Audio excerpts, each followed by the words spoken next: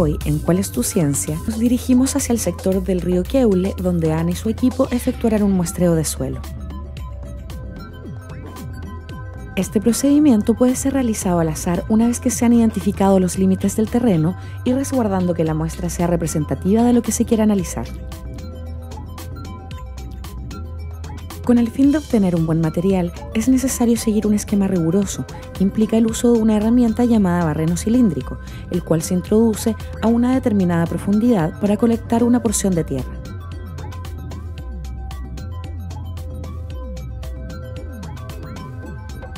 La muestra recibe el nombre de testigo y se envasa en una bolsa de plástico resistente al transporte para luego ser identificada con una etiqueta.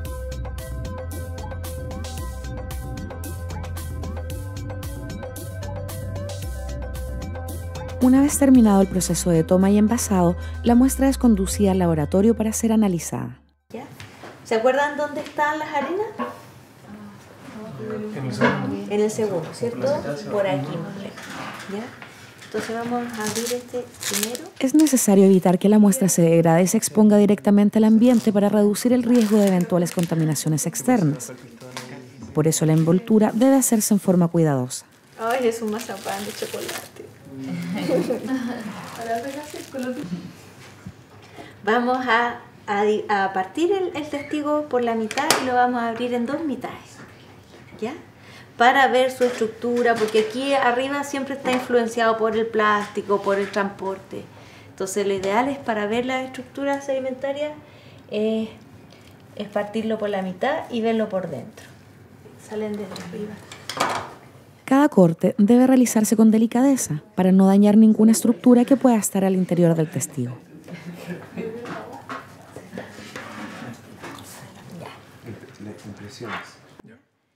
Este sedimento será analizado con una serie de proxies.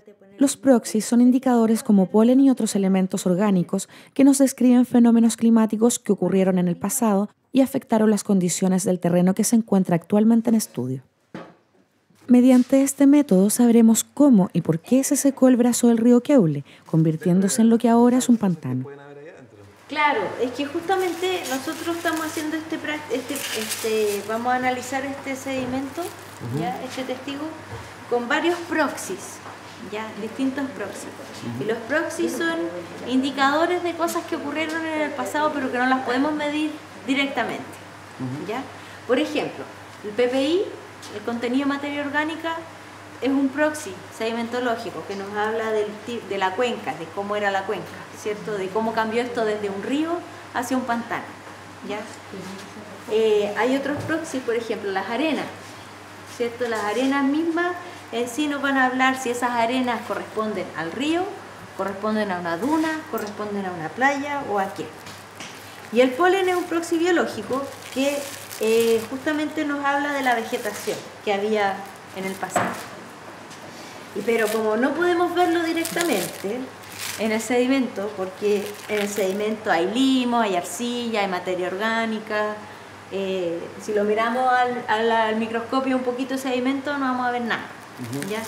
Entonces lo que hay que hacer es ocupar química, o sea, un tratamiento como una, una receta de cocina, ¿ya? un protocolo. Y eso eh, se toma un volumen estándar, un volumen conocido de sedimento, que lo vamos a hacer ahora, de hecho. ¿Un centímetro cuadrado? sí, vamos a tomar un centímetro, vamos a tomar 2 ml para asegurarnos de que haya harto. Lo que aquí es súper interesante es que justamente aquí hay unas cositas negras, que eso es, eh, eso es el material que podemos ocupar para fechar. ¿Ya? Esta es materia orgánica, un palito o eso es lo que se va a utilizar para hacer las dataciones. Si yo viera aquí esta capa gris, o sea, esta capita más parda, si yo supiera que es una ceniza que corresponde, no sé, pues al Chaitén de 10.000 años atrás, que yo ya la haya visto antes, que más o menos yo ya la conozco esa ceniza, yo podría decir, sí, esto tiene más o menos 10.000 años. pero... ¿Ya?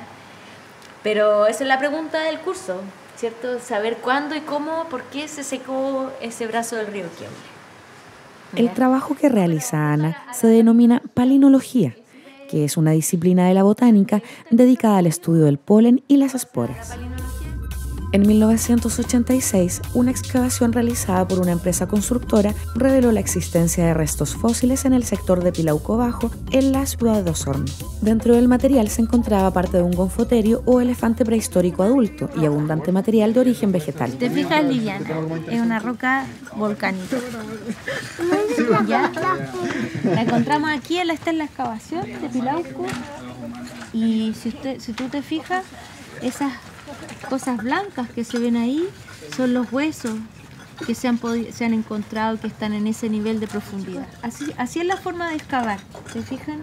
Con mucho cuidado, con unas espátulas pequeñas, con unas palitas, ¿cierto? Y con, con unos cepillos, en el fondo brocha, para ir quitando el material sedimentario o el sedimento, el barro, ¿cierto? Y descubrir entonces los fósiles.